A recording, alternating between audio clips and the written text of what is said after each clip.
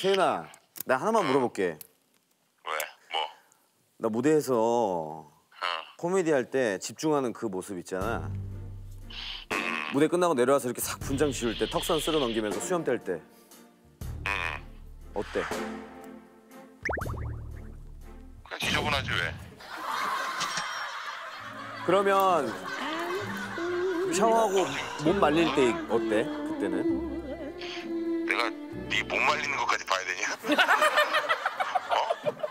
야, 야, 내 몸도 커 죽겠는데 내가 내 내땀내 땀딱 실패. 띄는 건데 내가 아! 실패. 섹시하다잖아, 섹시하다.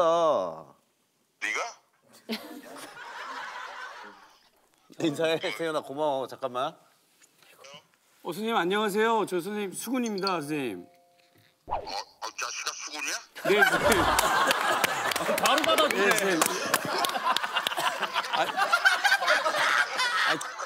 아, 저 선배님, 선배님 저 연기자 박소연이에요. 선배님이랑 연기 한번 꼭 해보고 싶어요.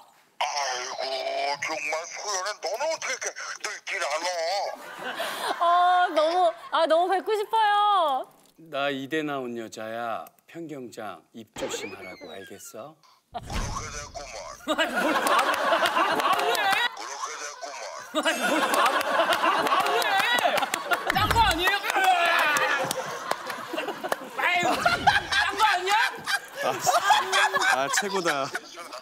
어, 고맙다 진짜 세훈아. 아 진짜 멋있다. 고생 많이 했습니다. 그러니까 고마워. 감사합니다.